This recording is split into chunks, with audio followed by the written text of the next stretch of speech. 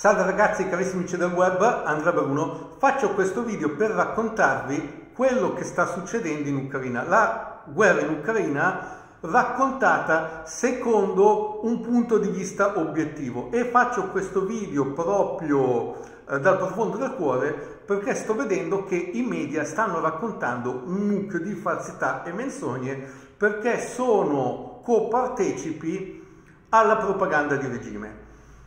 Allora, magari inizialmente questo video non sarà molto interessante, però nel complesso quello che sto per dirvi aprirà gli occhi a tantissime persone. È eh, appurato che chi difende il proprio territorio da un'aggressione nemica è molto più motivato e quindi eh, combatterà in maniera più efficace rispetto a un aggressore. Questo è puramente eh, appurato anche solo a rigore di logica. Quindi cosa abbiamo? Abbiamo un aggressore, abbiamo dei combattenti, dei soldati che stanno difendendo il proprio territorio, quindi le proprie case, la propria gente, la propria famiglia, i propri affetti, la propria cultura, da quello che è un aggressore che non ha nessuna remora morale perché il suo intento è solamente quello di infierire perché è mosso da chi c'è dietro alle spalle. Quindi abbiamo una, una entità che attacca che viene mossa da entità superiori che ne tirano le file. Adesso qualche cretino che sta sentendo questo video, quando ho parlato di aggressore e gente che difende la propria patria, perché questo eh, che vanno stamburellando i media, ha pensato che intendessi che l'aggressore sia Putin e chi difende la propria patria siano gli ucraini perché è questo che sto vedendo nel sottinteso quando si parla alla televisione, ma chiaramente uno che sa come sanno le cose, quando parla di aggressore, gente che difende le proprie case e lo fa con eh, grande efficacia perché quelli sono i suoi affetti, non vado a pensare a Putin che sta invadendo l'Ucraina, ma sicuramente questo è lo scenario di alcuni golpisti mossi dagli americani, tirati fuori fra le file delle tifoserie calcistiche neonaziste, vengono mandati a combattere a casa di chi russofono difende i propri interessi. E a questa gente qua, battaglione Azov, battaglione Idar, Pravi Sector e tutte queste entità qui neonaziste, non gliene frega un cavolo dei civili, se ne fanno scudo, eh, entrano nelle loro case, nei condomini, salgono agli ultimi piani, buttano fuori le famiglie che ci vivono, si appostano con i cecchini e questo causa anche grande sofferenza tra i civili perché questi vigliacchi non sono capaci di combattere in uno scenario di guerra, ma combattono all'interno nei centri abitati dove vive la popolazione civile per farsene scudo. Quindi fino a che la guerra verrà mossa nella zona eh, russofona saranno molto forti perché a questa gente qua, eh, non fregandogli nulla della popolazione, li usano come scudi, scudo e questo eh, dà un elemento di forza a queste vigliacche qua. Però già oramai eh, parte dell'Ucraina è stata denazificata, la parte russofona, il loro problema sarà da qui a breve, quando poco più avanti non avranno più territorio russofono da potersi fare scudo tra i civili. Quindi cosa succederà? Non appena verrà conquistata questa lingua di terra, poi verranno accerchiati eh, gli elementi rintanati, e quindi dovranno capitolare, le retrovie perderanno completamente di efficacia perché la loro tattica, l'unica che conoscono, non può funzionare perché non possono prendere eh, per ostaggio e farsi scudo della loro gente. Questo è quanto. Allora, eh, quindi grandissimi esperti, opinionisti dei miei zebedei, eh, che in televisione, quando alludete a un aggressore, gente che difende la propria patria, chiaramente nelle vostre parole una persona che sa quello che sta succedendo non riesce a capire, perché a un certo punto mi sa... Eh,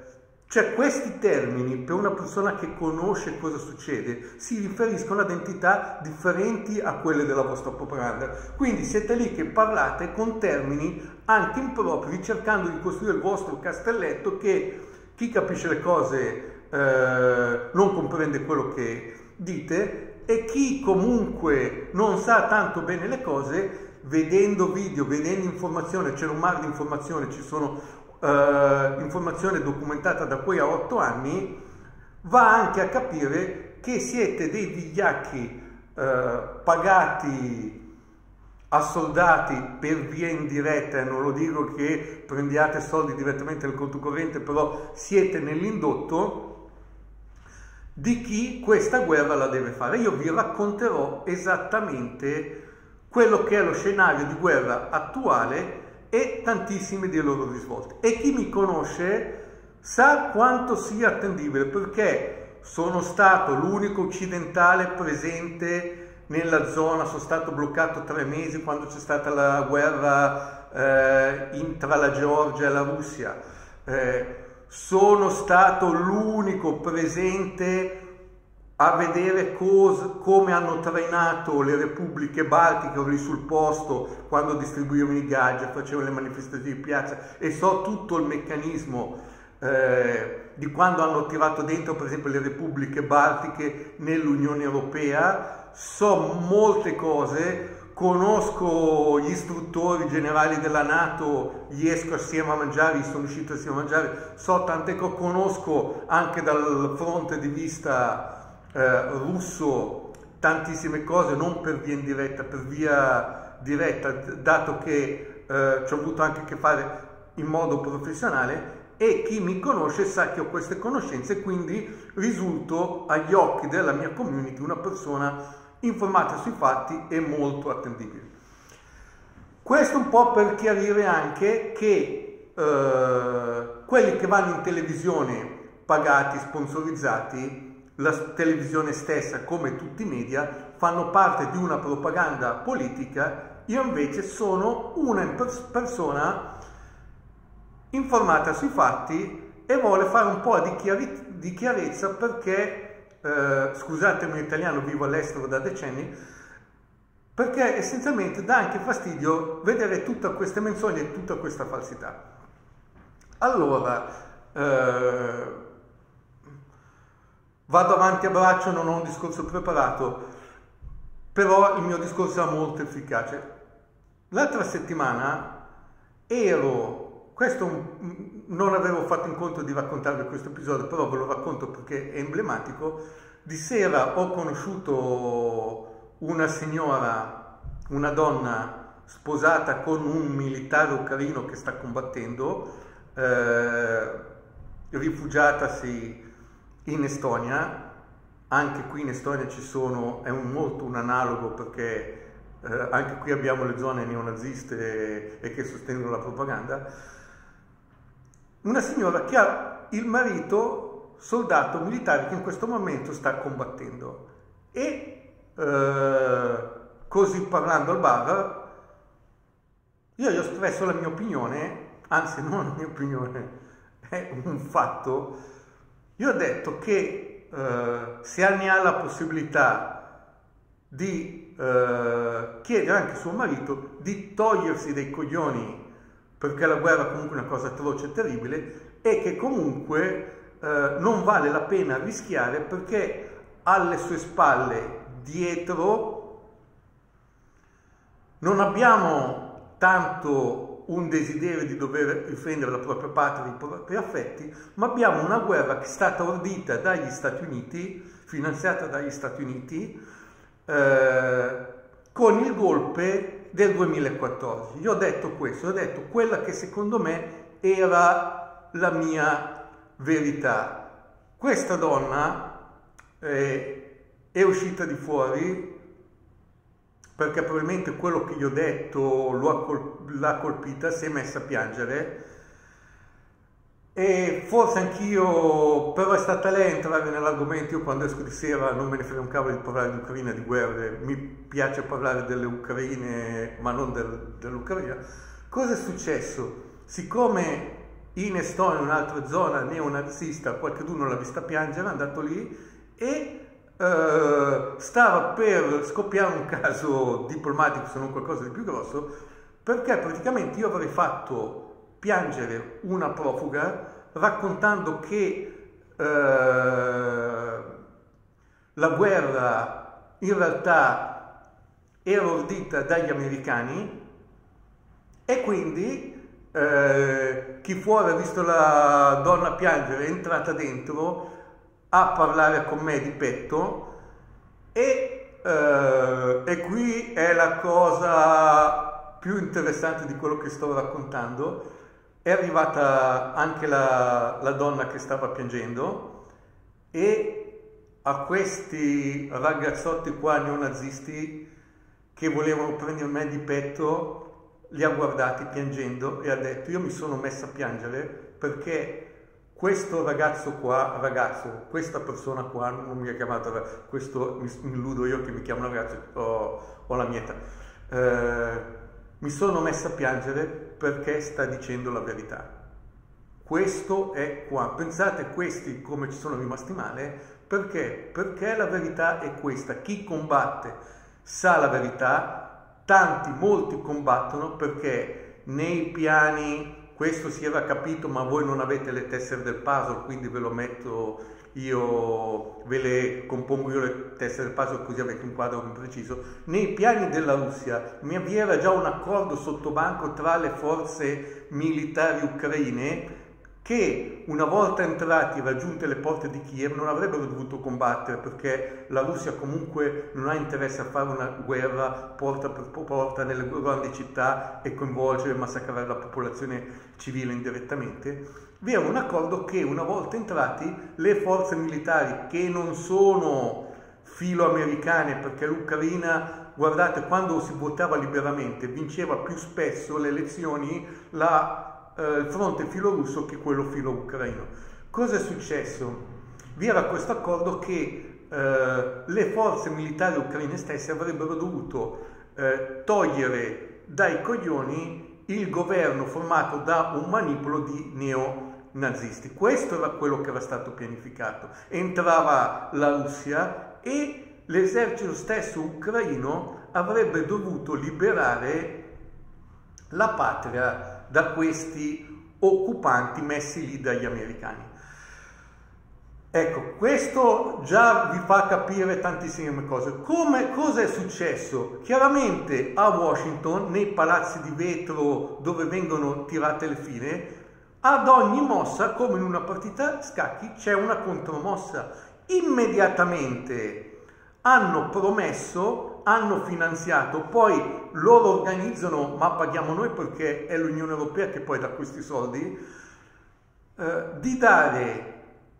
100.000 grivne a ogni soldato che combatte. Quindi eh, cosa è successo? Ah, faccio un salto indietro per capire anche qual è la, la situazione militare in Ucraina. In Ucraina abbiamo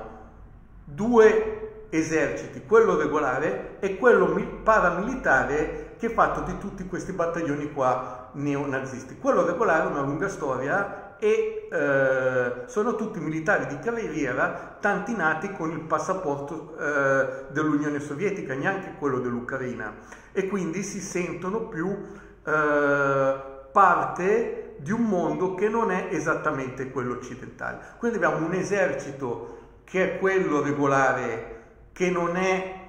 prettamente schierato filo americano e abbiamo questi battaglioni che sono nati con il golpe ordito dagli Stati Uniti d'America nel 2014. Quindi al suo interno abbiamo già un attrito. Abbiamo un attrito che abbiamo una forza militare regolare che non vorrebbe combattere comunque è lì lì restia e anzi era propensa a destituire eh, questo burattino qua messo lì dagli americani, un, un attore, e dall'altro abbiamo queste forze neonaziste fatte con elementi raccattate dalle tifoli, tifo, tifoserie hooligans delle squadre calcistiche tatuati che ormai tutti conoscete che sono mandati sul fronte a combattere addestrati direttamente da istruttori americani. Adesso avete già un elemento in più per capire questa guerra in Ucraina. Però tanti diranno, eh, lì Zelensky è stato eletto democraticamente. Ok, parte c'è di verità, parte c'è di falsità, perché alle elezioni non ha potuto partecipare l'Ucraina occidentale perché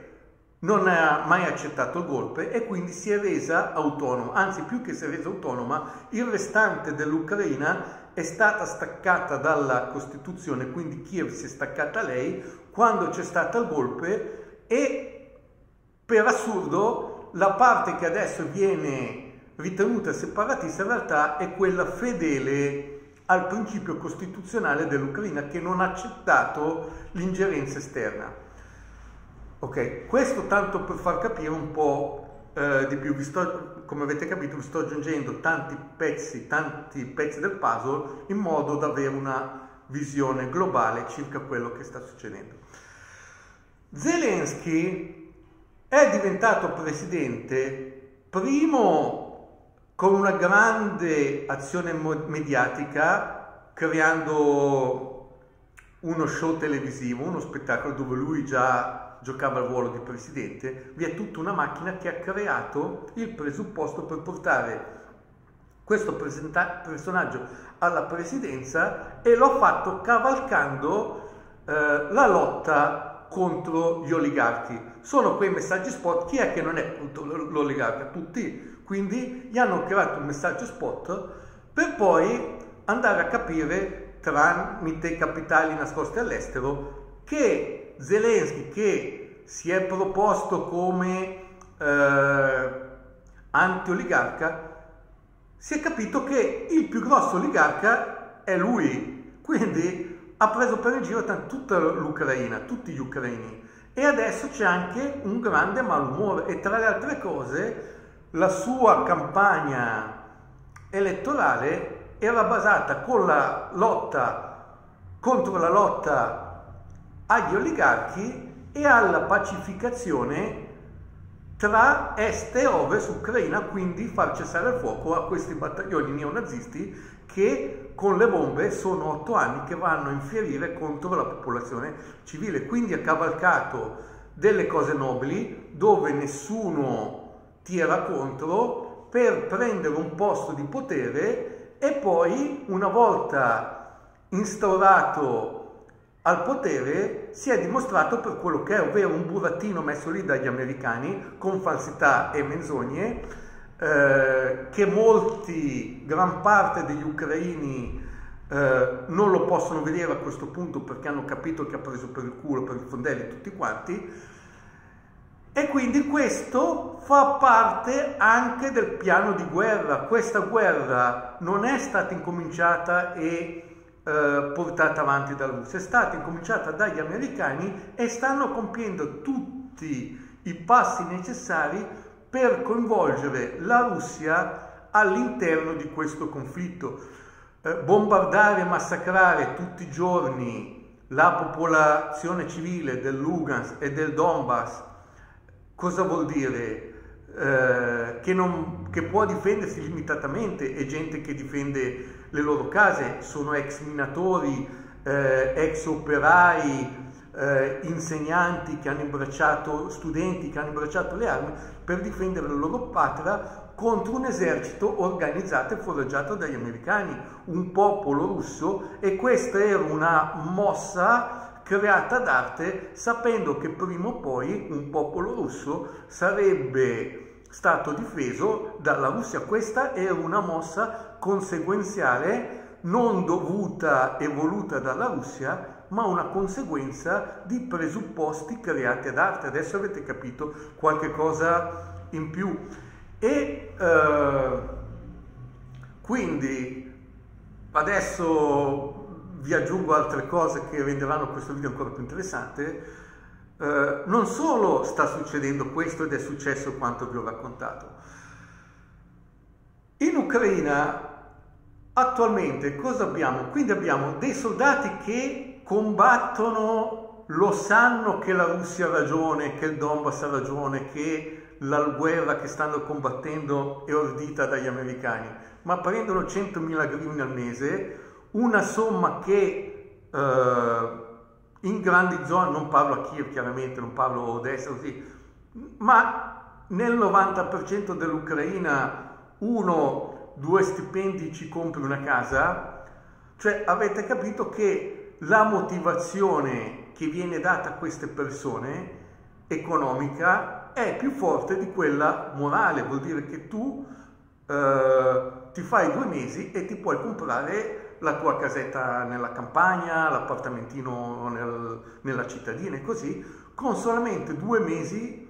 di lavoro e magari neanche in quei due mesi lì ti mandano al fronte perché ci sono anche ruoli, ti mettono nel magazzino, ti fanno fare le consegne, eh, vai al fronte e prendi le armi che, che sta consegnando l'Italia per andare a combattere, tutte queste cose qua. Quindi abbiamo gli americani che da un lato hanno addestrato i, neo, i battaglioni neonazisti e dall'altro lato per tenere dalla sua l'esercito regolare hanno dato disposizione all'Europa, quindi con soldi nostri, di eh, mandare all'Ucraina quantità ingenti monetarie per poter garantire queste 100.000 grivne al mese, che sono l'equivalente di, di una casa in Ucraina, per far sì che eh, fosse sventato il piano iniziale della Russia, che era quello che una volta entrati non avrebbero trovato grandi resistenze, anzi l'esercito ucraino sarebbe stato dalla parte russa. Quindi abbiamo un nemico che strategicamente ed economicamente molto forte perché la guerra non la vuole far cessare, perché butta come tu sei stanco di combattere, eh, non vuoi imbracciare le armi o hai qualche remora morale, morale prendi una, mazza, una mazzetta di soldi, te la butti in bocca e te sei incoraggiato ancora ad andare avanti ancora un po'. E questo è quello che sta succedendo. Chiaramente Uh, uno scenario di questo tipo cosa presuppone? Uh, lo Stato Maggiore ucraino non è libero di, ovvero sta dando i comandi, organizza, dà indicazioni, porta avanti un piano, una strategia di guerra che però al suo interno ha istruttori americani, una forza parallela e gli istruttori americani a Kiev hanno facoltà di disdire, cambiare e annullare ordini dell'esercito ucraino. Cioè, avete capito, abbiamo un'entità esterna presente sul posto che può annullare, disdire e cambiare gli ordini eser- dello Stato Maggiore di un esercito e in più può aggiungere degli ordini suoi. Quindi cosa abbiamo? Abbiamo carne da cannone da un lato e dall'altro un guerrafondaio che ha ordito tutto, gliene... Sì, molti diranno sì, l'Ucraina è piena di soldi, non è quello l'obiettivo. L'obiettivo come sono più di dieci anni che parlo di, di, di, questa diatriba, sono 15 anni che parlo di questa diatriba tra Russia e Stati Uniti, l'obiettivo non è quello di mettere al sacco l'Ucraina, quello è uno step, è quello di mettere al sacco alla lunga la Russia che è lì che sono le maggiori risorse. Se in Ucraina ci sono risorse eh, minerarie, carbonifere, eh, agroalimentari, per 100, ma quante volte è grande eh, l'Europa solamente la Siberia? Quante volte? E quindi eh, abbiamo, che sto vedendo questa guerra, gli americani, che lo fanno anche loro per interposta persona. Qual è il burattinaio ultimo? Eh, la guerra in Ucraina è tirata dalle file di una entità eh, costituita dai capitali finanziari e monetari. È questa l'entità che sta muovendo la guerra in Ucraina è un'entità sovranazionale di capitali finanziari e monetari per i quali non gliene frega nulla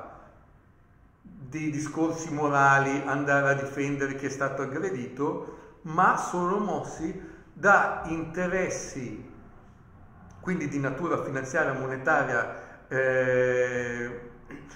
che possono essere a breve e a lungo termine, più che altro sono tutti ragionamenti a lungo termine. E questa entità sovranazionale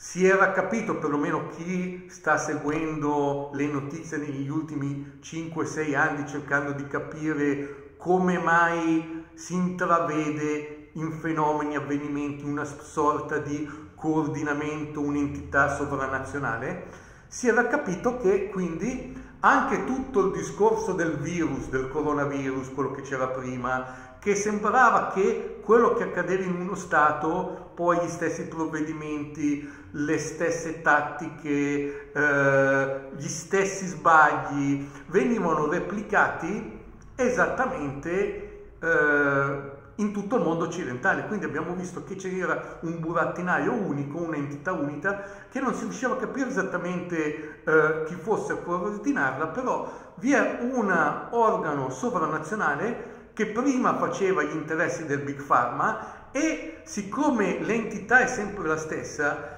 eh, tutto lo strascico, tutto l'entourage, tutto quello che viene a lei asservito, adesso prima era eh, dalla parte del Big Pharma e eh, strombettava e faceva propaganda per quel fronte lì guidato da questa entità sovranazionale, adesso sta facendo la stessa cosa dell'Ucraina. Adesso non ci vuole una mente geniale per capire che gli avvenimenti in Ucraina, la propaganda mediatica e eh, questa